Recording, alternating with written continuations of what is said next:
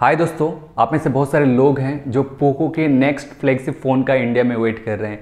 और ये फ़ोन का नाम पोको एफ़ F3 GT होने वाला है। इसको ऑफिशियली कंफर्म कर दिया है, जो पोको के ऑफिशियल्स हैं, उन्होंने खुद कंफर्म किया है कि पोको एफ़ F3 GT नाम का डिवाइस इंडिया में क्वार्टर थ्री में लॉन्च होगा।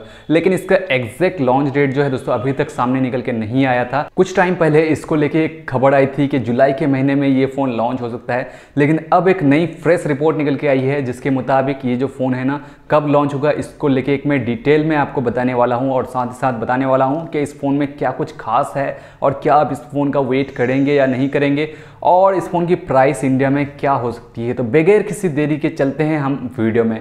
तो सबसे पहले इस फ़ोन के कुछ स्पेक जो हाईलाइटिंग स्पेक है, उसके बारे में थोड़ा सा जान लेते हैं। तो यहाँ पे आपको 6.67 इंच का एक full HD plus super AMOLED display देखने को मिल जाएगी और यहाँ पे सिंगल पंच होल देखने को मिलेगा। हाइयर रिफ्रेश रेट के साथ ये फ़ोन आने वाला है वन ट्वेंटी का आपको रिफ्रेश रेट इस फ़ोन में देखने को मिल जाएगा। उसके अलावा जो बैक पैनल है, पीछे आपको ग्लास बैक बॉडी देखने को मिलेगी ट्रिपल कैमरा का सेटअप देखने को मिल जाएगा। साइड माउंटेड फिंगरप्रिंट स्कैनर इस फ़ोन में आपको मिलने वाला है। जो प्रोसेसर होगा, वो होने वाला है मीडिया का डायमेंसिटी बारह और यहाँ पे छः जी आठ जी बी का रैम ऑप्शन देखने को मिल जाएगा one twenty eight G B और two fifty six G B storage के साथ में।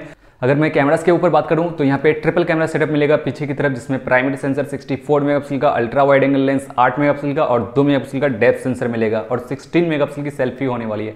कैमरास में बहुत सारे फीचर्स होंगे और भी जो आपको काफ़ी पसंद आएँगे। इसके अलावा बैटरी लाइफ को लेकर बात की जाए तो पाँच हज़ार की बैटरी आपको इस फ़ोन में देखने को मिल सकती है। सिक्सटी वाट का फास्ट चार्जिंग भी आपको देखने को मिल जाएगा इस फ़ोन में। इसके अलावा फ़ोन में आपको एंड्रॉइड इलेवन और मी यूआई देखने को मिलने वाला है। बाकी सभी बेसिक सेंसर्स आपको इस फ़ोन में देखने को मिल जाएँगे। यूएसबी टाइप सी पोर्ट देखने को मिलेगा। साइड माउंटेड फिंगरप्रिंट स्कैनर देखने को मिल जाएगा।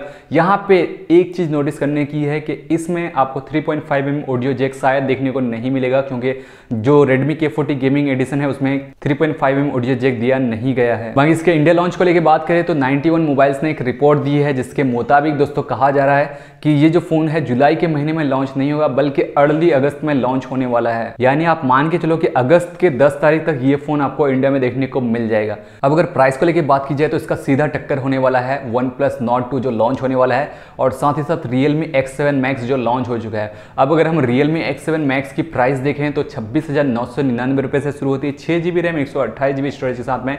तो आप एक्सपेक्ट कर सकते हो कि उससे कम प्राइस में ये फ़ोन हमें देखने को मिल जाए। और अगर हम चाइना की प्राइस देखें दोस्तों तो लगभग तेईस, चौबीस हज़ार या पच्चीस हज़ार के आसपास का चाइना में लॉन्च हुआ है। सो ये था दोस्तों एक छोटा सा वीडियो पोको के upcoming phone Poco F three G को लेके। आई होप कि आपके डाउट्स यहाँ पे क्लियर हो गए होंगे कि ये फ़ोन कब लॉन्च होगा।